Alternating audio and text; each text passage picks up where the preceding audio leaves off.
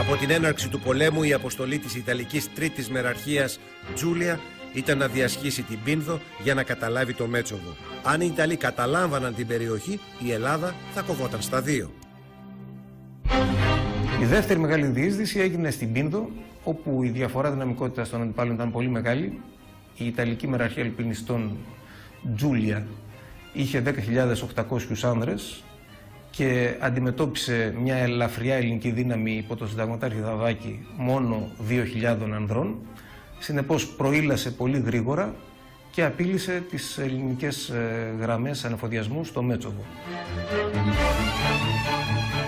Την πρωία λοιπόν όπως γράφει και στο ημερολόγιο του της 28 Οκτωβρίου είχε εξαπλώσει να αναπαθεί και κατά τις 4 η ώρα της 4.30 άρχισαν να ακούγονται εκρήξεις οπότε βγήκε έξω από τη σκηνή και είδε το μέτωπο να φλέγεται κυριολεκτικώς από οβίδες και από εκρήξεις που φλέγεται όλο το μέτωπο. Έδωσε αμέσως διαταγές και προωθήθηκε έξω από, έξω το χωριό στο προφίλ Λία Οξάς όπου εκεί ήταν το παρατηρητήριο του, της δίκης.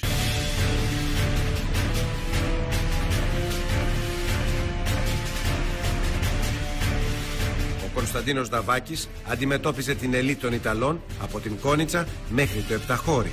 Είχε αναλάβει τη διοίκηση του τομέα της Πίνδου μόλις δύο μήνες πριν από την εισβολή.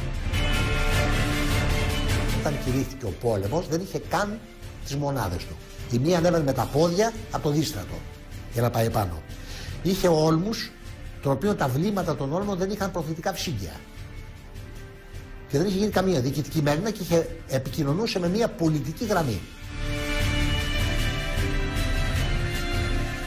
Ο Δαβάκης βλέπει ότι ο Ιταλός μέραρχος προχωρά γρήγορα προς τη Σαμαρίνα χωρίς να καλύπτει τα νότα του. Περιμένει ενισχύσεις και ετοιμάζει το καθοριστικό χτύπημα στη Τζούλια παρά το γεγονός ότι είχε λιγότερο στρατό. Ο ταγματάρχης Καραβίας φτάνει με το απόσπασμά του.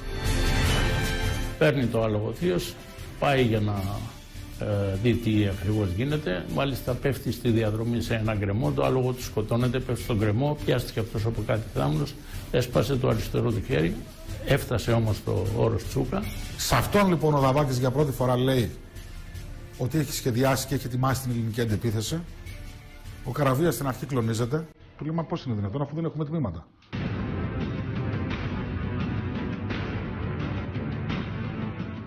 Την επόμενη ημέρα ο Δαβάκης τραυματίζεται σοβαρά στο στήθος. Η στολή του σώζεται μέχρι σήμερα και υπάρχει στο Πολεμικό Μουσείο με, την, ε, με το χαρακτηριστικό σχίσιμο στο στήθος συνέπεια του βαρύτατου τραύματος του.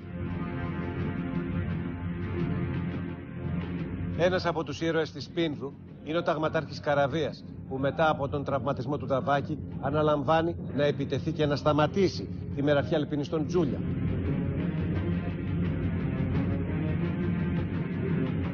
Ο Καραβίας στην ουσία διοικητής του αποσπάσματος, ο Δαβάκης είναι τραυματίας, για πρώτη φορά στην ιστορία, τουλάχιστον εκείνου του πολέμου, διατάσσει αντέφοδο. Έφοδο πάνω στην έφοδο των Ιταλών. Δια της Λόγχης, με επικεφαλής στον Καραβία, οι Έλληνες επιτίθενται στους επιτιθέμενους.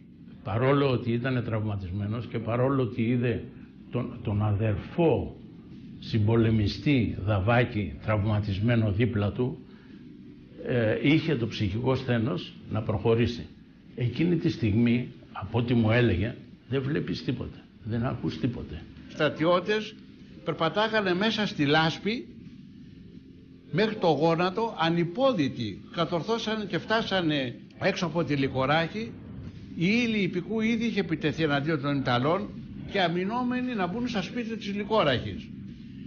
Με χειροβοβίδες οι δικοί μας αμήνονται οι Ιταλοί και τότε οι δικοί μας τους είπανε εάν δεν παραδοθείτε αυτή τη στιγμή θα περπολίσουμε την κατοικία. Και έτσι παραδόθησαν και οι τελευταίοι Ιταλοί ε, στα ελληνικά τμήματα. Η μάχη της Λικόραχης ήταν το πρώτο χαστούκι που φάγανε οι Ιταλοί, ήταν η πρώτη νίκη του Ελληνικού πολέμου Νίκη, ήταν η πρώτη Ιταλοί εχμάλωτοι που πιαστήκανε, παντοειδές πολεμικό υλικό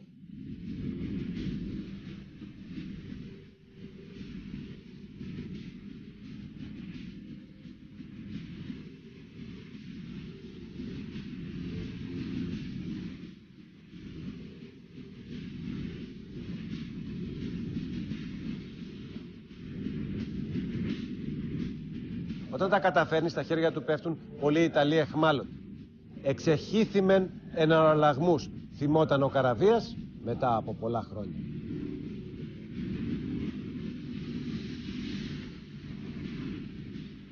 Και κατορθώσανε και τους εγκλωβίσανε και πιάνουν εκεί 2.000 εχμαλώτους, 600 νεκρούς οι Ιταλοί. Εκεί πέφτει νεκρός ο πρώτος Έλληνας αξιωματικός. Ο πρώτος νεκρός αξιωματικός